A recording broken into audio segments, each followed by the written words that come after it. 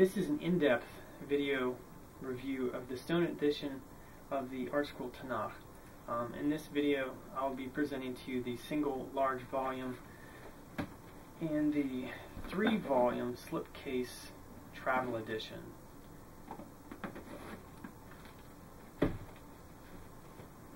Um, Torah, the Torah, the Nevi'im, and the Ketuvim. So that's uh, Tanakh is an acronym for that. The Torah, the prophets, and the writings. So this follows the, the Jewish ordering of the books.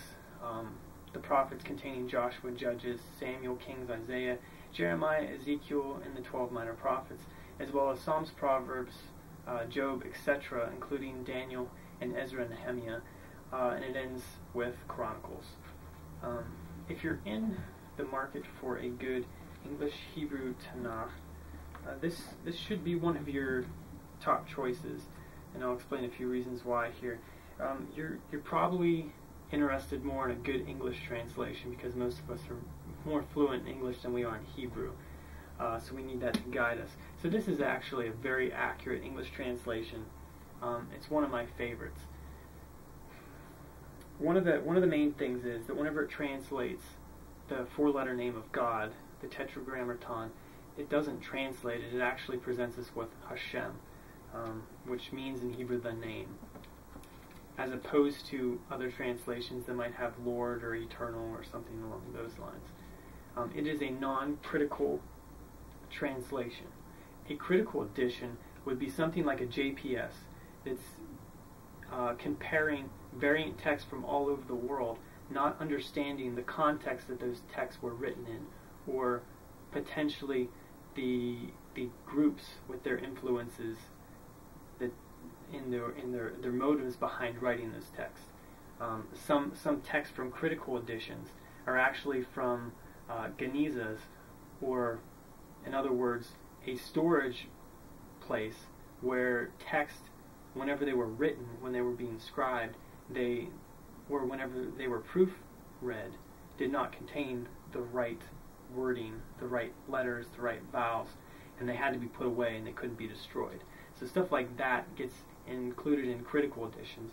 Whereas this is a uh, it's a good rabbinic translation, and I say that in that the translation is based on the tradition of Hebrew definitions that have been preserved through the yeshivas all across the world, um, and these rabbinic translations have actually uh, been used by Christian translations for thousands of years.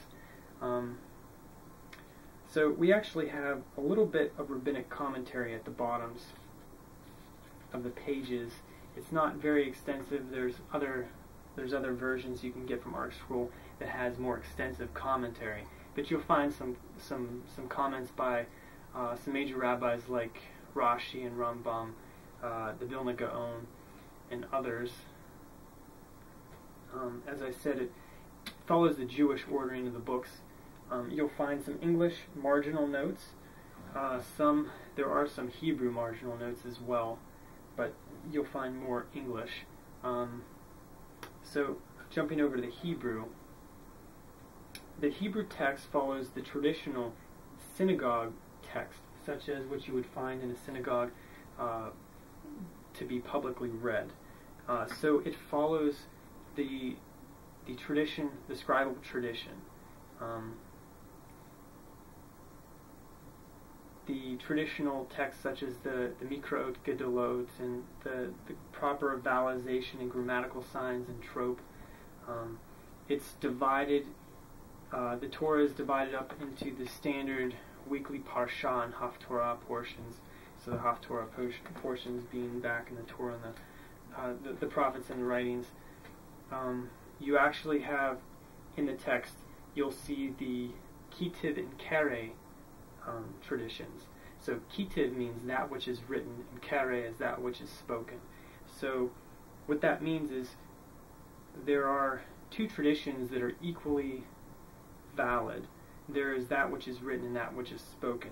So there's sometimes you come across words that are actually written, and you actually say a different word if it's publicly um, publicly read. And they're not very different, but what it's actually doing is preserving two traditions that are equally valid. Um, so the ketiv is actually written without vowels, and the Qere is in parentheses with vowels. Um, you also have preserved the Petuchah and the Setumah sectional um, spaces. Let's see. So there's a closed section, and then I believe on the other page I pointed out an open section of lines, as you would find in a uh, standard synagogue scroll. Um, the, the text doesn't exactly follow the layout of the synagogue scroll because this is this is a book. This is not a scroll. Um, the Hebrew letters are used for verses on the side, so it does follow the Hebrew verse ordering uh, as far as chapters, chapters and verses. There's a few differences between the the Christian divisions. Um, you'll also find scribal notes in here, uh, such as the Ten Nekudot and other things that are preserved scribal traditions that actually um, they they convey more meaning, kind of a little bit of a lost meaning in some senses of the text. So I wanted to uh, mention those things. And as I say, it's, it's a good solid Hebrew text in that, for instance, uh, this the scribal tradition is that we know that there are 304,805 letters in the Torah. Well, in this edition, you will find 304,805 letters. So if you are interested in looking at Torah codes or some other things where you're actually counting letters, or gematria where you're actually checking the values of words, this is a good text that you can literally do that and, and get the the traditional um, results, if you will. So at the back of the Tanakh, both edition, both the, the three volume and the single large volume, we have an appendix with four sections.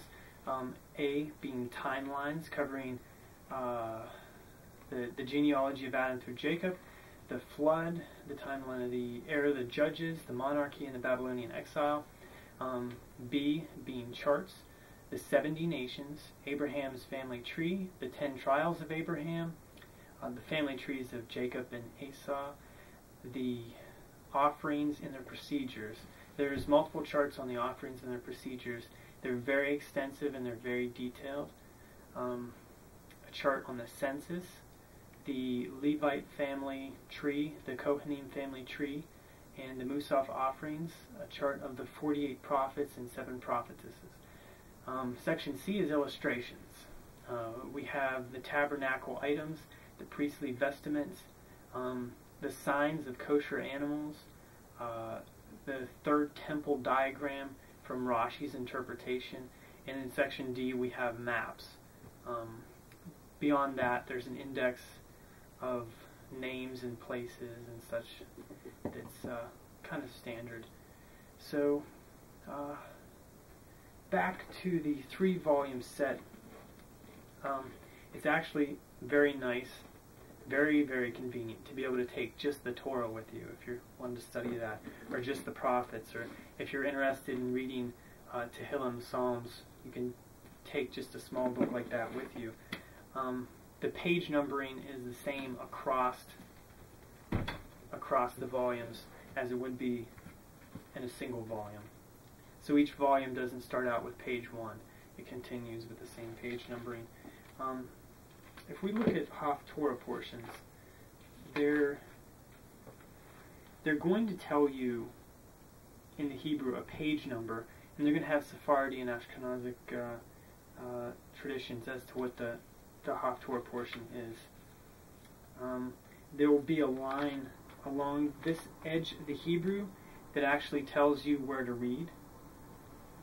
Um, so basically that's a that's a rundown of the ArtScroll edition. If you have any other questions, you can leave a comment.